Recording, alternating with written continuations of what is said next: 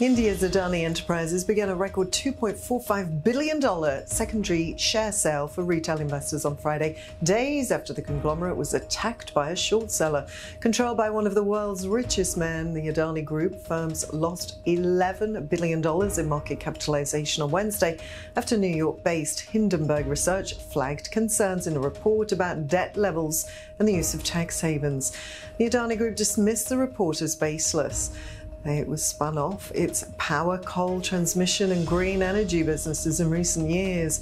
But what is the Adani Group and why are we seeing it in the news so much? Well, it's one of India's biggest conglomerates owned by Gautam Adani, the world's fourth richest man, according to Forbes and he's been diversifying his empire from ports to energy and now owns a media company.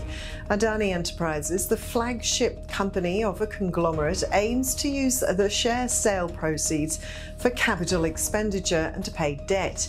The anchor portion of the sale saw participation from investors, including the Abu Dhabi Investment Authority on Wednesday.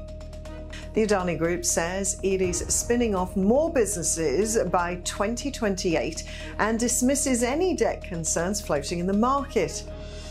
So, where does the Adani Group stand in terms of debt? Well, in its report, Hindenburg says key listed Adani Group companies had substantial debt putting the conglomerate on a precarious financial footing, and that sky high valuations had pushed the share prices of seven listed Adani companies as much as 85% beyond actual value.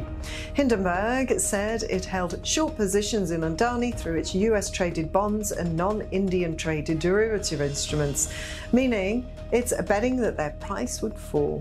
Adani Group has repeatedly faced and dismissed concern about debt levels. It's reported the Adani Group's consolidated gross debt stood at 1.9 trillion rupees. That's 23.34 billion US dollars. Now, if you like the information in this video, please like and subscribe to our channel, and you can hit the bell icon to get notifications for our other videos. I'm Rachel for Kalkine Media.